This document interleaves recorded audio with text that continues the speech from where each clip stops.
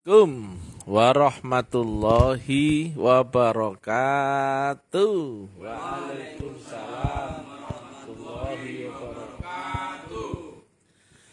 Alhamdulillah. Alhamdulillahi rabbil alamin. Wassalatu wassalamu ala asrafil anbiya'i wal mursalin. Sayyidina wa maulana Muhammadin wa ala alihi wa sahbihi ajmain. Ketemu lagi dengan Mr. TM dengan uraian-uraian ilmiah tinggi tentang metodologi, metafisika, tasawuf, eksakta ilmiah. Bertempat di kampus Taklim Ma'rifat Lamongan. Judul yang kita angkat kali ini adalah Jika kau di dunia maka carilah Tuhan yang di dunia. Jangan cari Tuhan di akhirat, gak bakal ngerti ya. Di mana-mana sekarang ini orang demam cerita hakikat, tarekat, makrifat, kerohanian, tauhid, dan sebagainya. Tapi hati-hati ya, Hukum dunia berpasang-pasangan, kalau ada yang asli pasti muncul yang palsu ya. Kalau ada yang mutlak pasti banyak yang relatif, itu hukum. Nah logikanya, jika orang-orang ini menjelaskan teori dengan teori, itu masih dugaan. Tapi kalau ada orang yang menceritakan kabar akhirat tapi dengan metodologi, wah dia pasti seorang pelaku ya. Jadi serupa ya, oh bahasanya manis ya, karena kalau orang teori, oh pinter-pinter teorinya. Satu tok, tanya saja bagaimana cara prakteknya, sudah kelenger-kelenger ya. Nah, dikarenakan banyak ya tentang asumsi dugaan akan Tuhan atau Allah, maka kami terangkan ya segamblang-gamblangnya ya. Sesuai judul ya, jika kau di dunia, carilah Tuhan yang di dunia, jangan cari Tuhan di akhirat. Gak bakal nyambung ya. Apa sih definisi Tuhan? Nah, biar tahu dulu. Tuhan adalah sesuatu yang kau cintai, kau tuju, harapanmu, orientasimu, alasanmu, tujuan hidupmu ke arah sana. Berarti tujuanmu atau yang kau cintai harus ada di dimensimu sendiri. Betul? Enggak mungkin contohnya ya. Kau mencintai istri tapi di alam lain. Seperti apa dia? Enggak tahu. Itu bukan bukan namanya mencintai istri, betul ya? Atau kau punya tujuan, apa tujuanmu? Enggak tahu. Berarti apa pun yang kau cintai, kau tuju, harapanmu, orientasimu, harus ada di dimensi yang sama denganmu. Nah, ibarat kita di dunia ya, kalau kau membayangkan Tuhan di akhirat gak bakal nyambung, laisa kamu sayun. Nah, kita harus temukan dulu siapa yang kau sembah di dunia ini. Kau harus temukan dulu wujud Tuhan yang di dunia ini. Wujudnya loh ya. Dan di balik wujud itu ada gelombang mutlak yang tersalur akan Allah yang di maliki yaumiddin atau ars atau di ujung langit akhir tertinggi. Kalau kau masih mencintai ya tujuanmu adalah kau kaya, agar kau sukses, jabatanmu naik tinggi, itulah Tuhanmu. Berarti kau menuhankan Tuhan yang seperti itu. Nah, itu dia ya. Jadi kau harus punya pembanding ya. Apakah kau menuhankan dirimu sendiri ataukah kau mencari di mana kau bernama Allah yang di dunia ini? Enggak ketemu itu semua Tuhanmu cuma angan-angan. Kau menyembah Allah katanya, sholatmu mengingat Allah katanya. Tapi prakteknya kau menuju yang kau cintai adalah harta, pangkat, jabatan, keluarga, pekerjaan, uang, kesehatan, dan sebagainya. Cocotmu ngomong kepada Allah, Allah Ta'ala sebagai Tuhan, tapi prakteknya ternyata yang kau cintai, yang kau tuju, yang kau harap, alasanmu, orientasimu ternyata masih sebatas bikinan angan-anganmu sendiri. Ini nggak konkret ya. Gampang ya, orang cerita gampang karena lidah nggak bertulang. Di mana-mana orang bisa menciptakan Tuhan karena membaca literasi. Tapi saya ditanya, di manakah wujud Allah di dunia ini? Enggak ada yang bisa menjawab secara ilmiah. Lu yang menjawab Tuhan di dunia juga ngerti apalagi Tuhan di akhirat. Saya tanya, akhirat kriterianya apa? Enggak terjangkau oleh akal, betul enggak? Bagaimana kau mau menuhankan sesuatu yang enggak terjangkau oleh akal mulai kamu sayun? Gak mungkin ya. Kau mencintai sesuatu yang tidak pernah kau tahu loh. Gak ngerti. Maka diterangkan di dalam Quran banyak sekali ya. Ada Tuhan di langit dan ada Tuhan di bumi. Itu kias ya. Tuhan di langit adalah Tuhan di alam Malik Yaumiddin. Dan Tuhan di bumi adalah Tuhan di alam dunia, di alamnya manusia. Nah ini, jadi kau harus temukan dulu ya Allah yang di dunia, yang wujud yang kau saksikan dalam syahadat. Yang di balik itu ada saluran wasilah, gelombang nur mutlak, dan ujungnya adalah Allahu subhanahu wa ta'ala yang maha mutlak. Kalau kau menuhankan uang dengan sifat yang relatif, kau sesat. Kau menuhankan pangkat, jabatan dengan sifat relatif, sesat. Yang kau pertuhankan harus Allahu subhanahu wa ta'ala. Tapi ada Allah di langit, ada Allah di bumi. ya Ini kias ya. Kalau kau nggak temukan itu, berarti kau telah sesat di balik rasa berimanmu atau Islammu. Banyak orang ya pengajian sekarang ya. Karena apa? Kemarin ya, fase kemarin itu orang mengandalkan syariat. Ternyata di akhir-akhir ini orang pada menyadari bahwasanya syariat bukan solusi akan agama atau keimanan seorang. Syariat hanyalah teori. Maka sekarang bermunculan ngaji tauhid, ngaji makrifat, ngaji batin, ngaji rohani, ngaji bla bla bla bla, ngaji metafisika dan sebagainya. Nah, tapi ya teorinya manis ya, tapi kalau kau ya orang itu nggak bicara ilmiah dan tidak bisa dibuktikan, bohong. Jangan tertipu dan terjebak pada kalimat-kalimat yang manis-manis ya. Misalkan ya dia cerita Mi'raj, Allah di langit, akhirat. Itu sederhana. Gimana cara mau menembus akhirat? Nah, itu. Dan itu harus ilmiah. Bukan bahasa fenomenal ya. Aku diam, tahu-tahu wus naik ke langit. Wah, itu fenomena. aku ketemu malaikat Jibril. Aku didatangi Rasulullah ya. Seperti apa itu? Kalau jawabannya fenomena, telek lah telek. Itu pembohong semua itu. Bagaimana kau ditemui Rasulullah Muhammad kalau kau nggak kenal? apa, apa bisa kau antara Rasulullah yang sungguhan sama Rasulullah yang tiruan iblis? Nah itu dia. Kalau kau kenal, baru kau bisa mengenali. Kalau aku tahu ya, itu namanya Pak Joko. Ketemu Pak Joko, aku beritahu, eh Pak Joko dari mana? Iya? Lah kalau saya nggak pernah ketemu Pak Joko, tahu-tahu aku datangi Pak Joko loh, telek ta? Ya bukan loh? Loh. Harusnya kenal, baru cerita itu Rasulullah Muhammad. Loh itu. Itu Nabi Khidir. Gampang ya, orang gendeng loh, akulah Khidir. Masa ngono? Ya kan? Jadi sekarang banyak bermunculan jamur ya, kajian-kajian tauhid, kajian makrifat, tapi nggak ilmiah.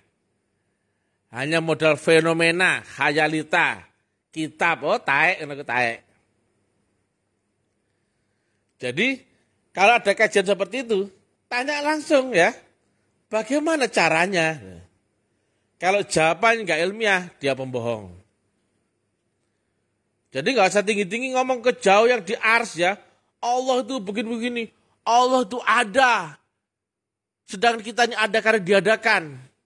Kita ini hijab dan sebagainya. Nah, pertanyaannya ya. Di manakah Allah wujud di dunia ini? Sementara sifatnya di dunia ini wujud. Wujud bukan berarti ada loh ya. Bedakan ya.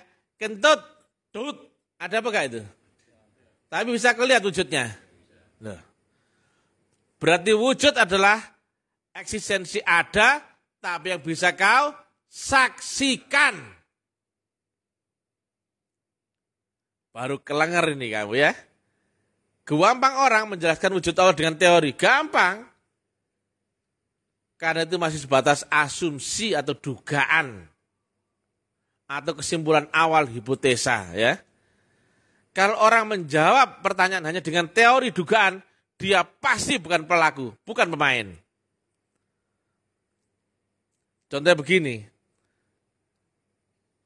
Pernah dengar namanya yakin itu sabu-sabu? Oh pernah. Tapi kamu nggak pernah makan. Hanya dengar tok. Seperti apa yakin, yakin itu sabu-sabu? Karena dugaan tafsirnya seperti zat psikotropika, ceritalah begini-begini-begini. Padahal namanya sama-sama sabu-sabu, satunya zat psikotropika, satunya lobster campur salad buah mayonnaise. Satunya makanan, satunya zat psikotropika. Nah, kalau kau menjawabnya dengan dugaan, berarti kau bukan pemain. Banyak cocot-cocot berkeliaran. Saya tengok di Facebook, di Youtube, banyak. Asal nyocot kan dikira pinter.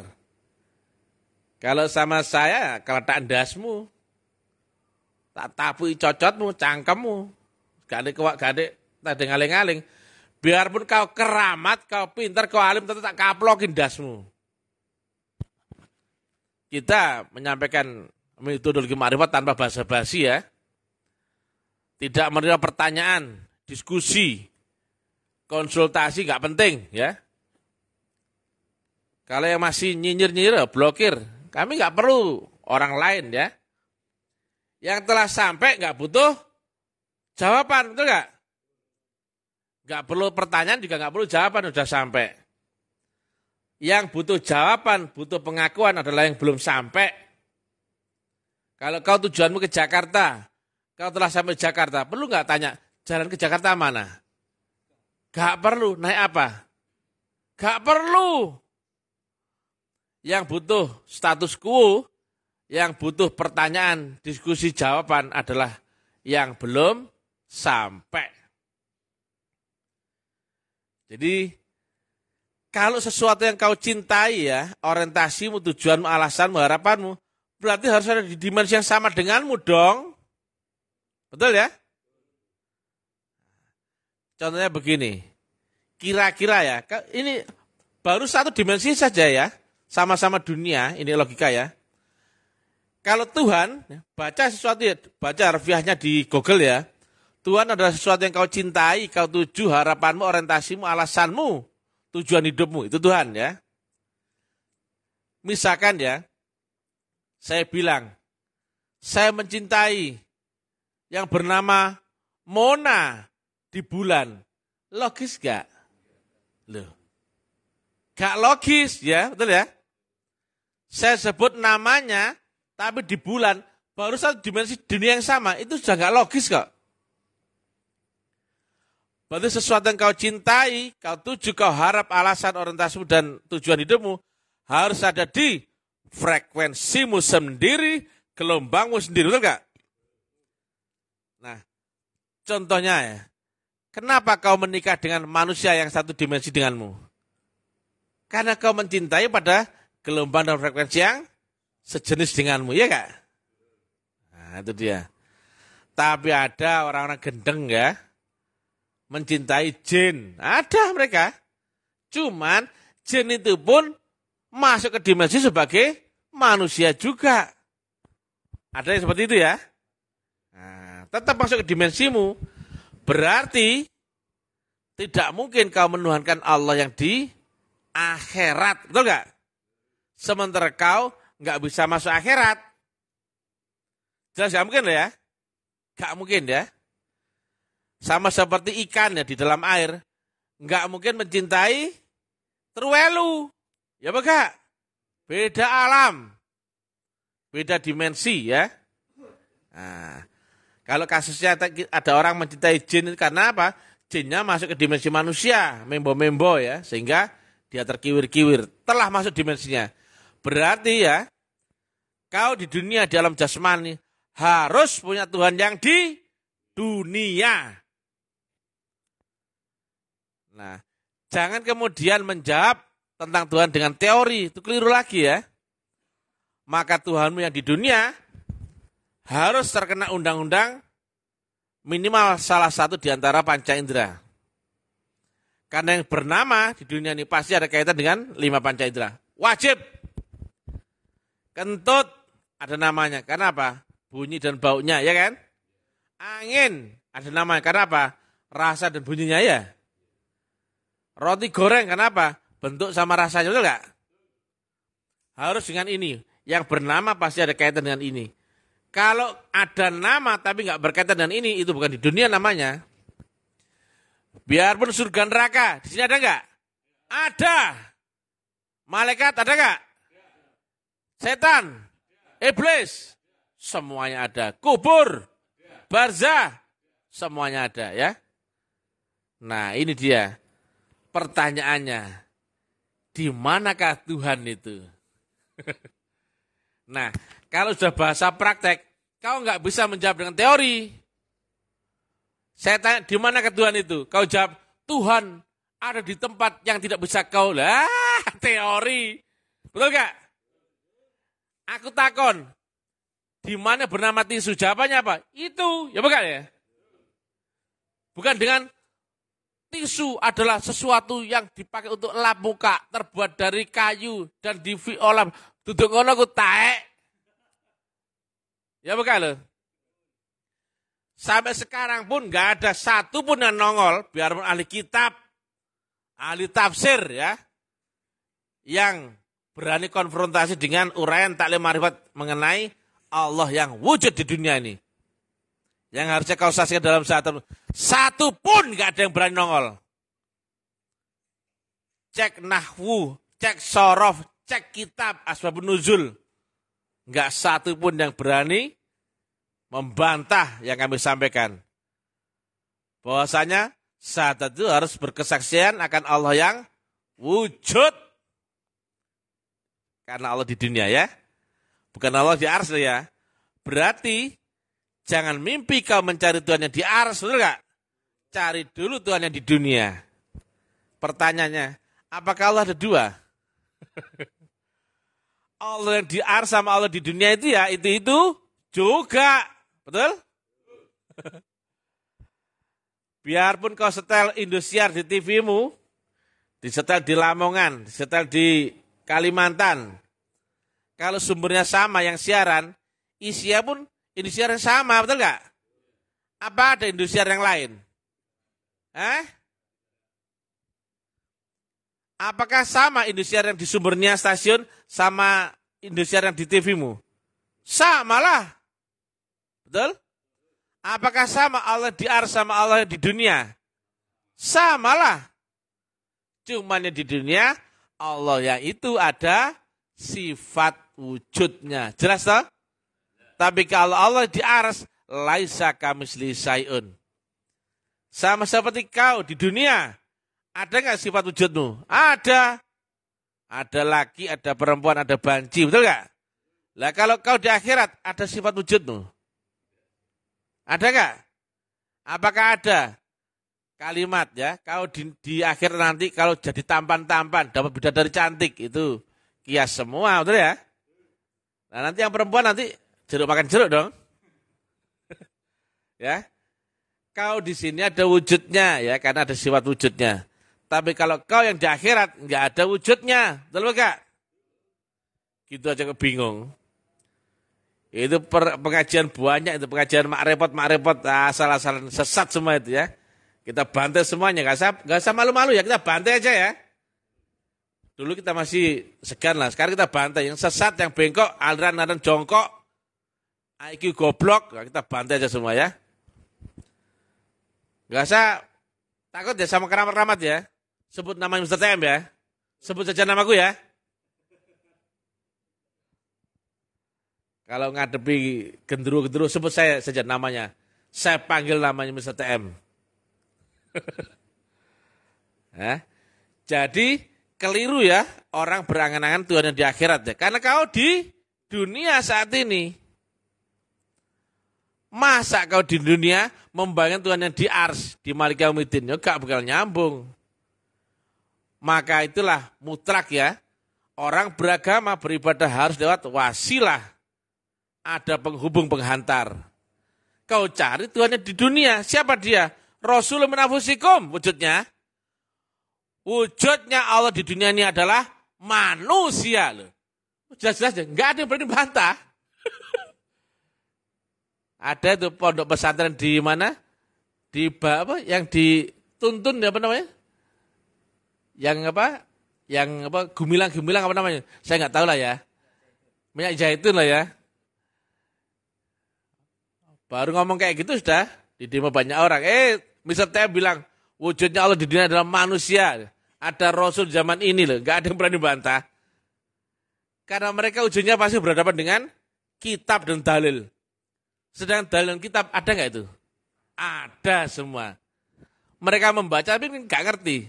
Di manakah Allah yang wujud di dunia? Nggak ngerti. Maka mereka menjawabnya hanya dengan teori lagi. Apa yang kau saksikan dalam syahadatmu? Loh kok ucapan? Iya gak lo? Aneh ya? Lho iku kiai lho, ulama lho, goblok goblok iku. Lolok lolok iku. Gak kiai, gak guse, gak mursid, gak habibe. Oh, jancuan kabeh ya. Mereka menyesatkan manusia ya. Kalau kau saksikan berarti tentang apa? Wujud, betul gak? Bisa kau saksikan kentut. Kentut itu ada loh ya. Kan ada itu Ustadz Abdul Komat itu cerita. Allah itu ada. Karena dia ada dia maha ada. Oh, taek. Ya, bedakan ya. Ada sama wujud beda ya. Kalau wujud adalah ada yang bisa kau saksikan, betul nggak? Lah kentut, ada yang bisa kau dengar dan kau bau, ya enggak lo? Jelas. Maka kau bersaksi berarti harus kepada Allah yang wujud. Berarti Allah wujud Allah di dunia apa Allah di ars? Di dunia. Wujudnya apa? Manusia. Nah, ketika saya tanya, di mana yang wujud? Saya bilang apa? Harusnya apa? Itu loh, enak toh? Di mana tisu? Ini loh, enak toh? Kalau kamu nggak ada objeknya, kamu pasti gambarkan dengan teori. Di mana tisu? Tisu adalah semacam kain tipis terbuat dari bahan kayu diolah sedemikian rupa. Itu ngono. Hei, Majelis Ulama India, iki pekerjaanmu blog-blog. Harusnya tuh umat diarahkan ya, diterangkan ya bagaimana metodologi makrifat. Jadi gak asal-asalan dugaan, aliran, golongan, organisasi. Lo agama kok relatif prasmanan. Itu agama bikinan orang, betul gak? Karena apa? Cocok logi dengan akalnya masing-masing. Tapi coba kalau bisa terangkan ilmiah, mana bisa dibantah ya. Selain ilmiah full power ya. Jadi mati kutu semua orang ya. Jadi demikian ya. Kenapa? Definisi Tuhan adalah sesuatu yang kau cintai, kau tuju, kau harap, alasanmu, orientasimu, tujuan hidupmu kepada itu. Nah, banyak kan yang masih menuhankan harta, ya kan? Istri, ya kan? Uang, pangkat, harga diri, ya bukan lo? Harusnya kau menuhankan Allah, ya bukan? Tapi yang mana yang bernama Allah? Kau kan nggak kenal. Jika kau, contohnya, kalau kau nggak pernah bisa mengingat Allah, karena dia laisa kamu si sayun, maka sholatmu nggak mungkin bisa mengingat Allah, betul nggak? Karena sifat mengingatmu yang kau ingat dengan akalmu kontradiktif dengan laisa kamu si sayun, gak nyambung, guys. saya tunggu-tunggu nih undangan mana ini saya mau di apa di sidang misalkan menerangkan apa metodologi seperti ini. Enggak ada nyidang enggak ada yang ngundang ini. Ya enggak ada lawan kita ya. Nah, demikian ya. Pakai nalar logismu ya. Jadi kenapa di dalam Quran ada Allah menyebut kami? Ada Tuhan di langit dan ada Tuhan di bumi ya. Berarti antara Allah dan utusannya. Di situ ada hubungan lewat saluran wasilah. Kalau kau nggak ketemu utusannya atau rasul di zaman sendiri, seluruh agamamu zong. Jika kau tidak ketemu Tuhan di dunia, nggak mungkin kau kenal Allah di akhirat. Jelas nggak mungkin ya. Masya konku guru ngaji delemeng, guru tauhid, guru ma'rifat, oh taek. Lu kok ngono bang, kok berani? Ya iya jelas gak mungkin ya. Kalau tem ya, hitam ya hitam ya, gak ada abu-abu ya, putih ya putih. Kalau nggak mungkin ya jelas nggak mungkin ya. Gak usah dipanjang-panjangin. Saya nggak mungkin ya, nggak perlu didiskusikan, nggak perlu ditanyakan kalau sudah nggak mungkin ya. Misalkan begini ya, syarat masuk akabri tingginya minimal 165. Ada kamu ya daftar tinggimu 160. Kok nggak masuk? Perlu nggak di, dijawab masa syaratnya? Ya nggak perlu, jelas gugur syarat. Mari dah. Syaratnya Pak 165. Lah tinggimu berapa? 160 ya. Gak perlu didiskusikan panjang-panjang. Berarti Anda gagal syarat. Semari. Aku ngeladeni kon. Oh, eman cocotku. Cangkem-cangkem ini ya. Mr. Tem yang brilliant baik hati dan tanpa basa-basi ya. Yang mau mendekat ke sini wajib bayar sama ngemis. Harga dirimu, egomu harus merangkak di kakinya Mr. TM ya. Karena kami nggak butuh Anda ya. Sangat tidak butuh Anda. Kami nggak tebar pesona ya. Demikian yang bisa kami sampaikan ya. Carilah Tuhan di dunia ya. Kalau kau nggak ketemu itu berarti kau masih menuankan angan-angan khayalanmu sendiri. Demikian, salam taklim marifat, salam kebangkitan tasawuf ilmiah. Assalamualaikum warahmatullahi wabarakatuh.